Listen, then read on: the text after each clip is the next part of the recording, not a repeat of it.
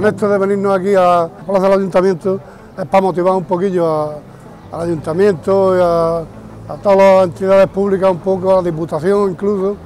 a ver si nos echan una mano y pueden mediar un poco con esta gente que, es que no, lo que no, no quieren dar un poquillo el brazo a torcer.